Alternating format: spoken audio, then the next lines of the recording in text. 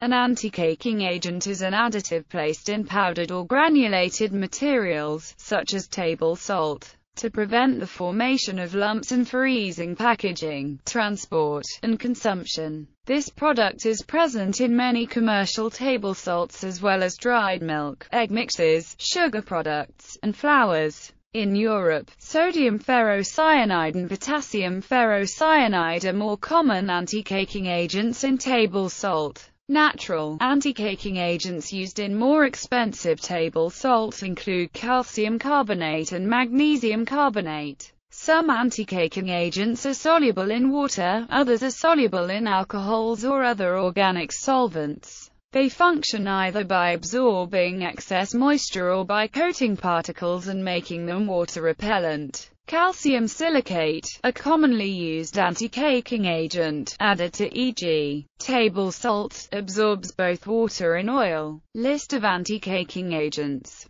The following anti-caking agents are listed in order by their number in the Codex Alimentarius. 341 Tricalcium phosphate 460 powdered cellulose 470 B magnesium stearate 500 sodium bicarbonate, 535 sodium ferrocyanide, 536 potassium ferrocyanide, 538 calcium ferrocyanide, 542 bone phosphate, 550 sodium silicate, 551 silicon dioxide, 552 calcium silicate, 553A magnesium trisilicate, 553B talcum powder, 554 sodium aluminosilicate, 555 potassium aluminium silicate, 556 calcium aluminosilicate, 558 bentonite,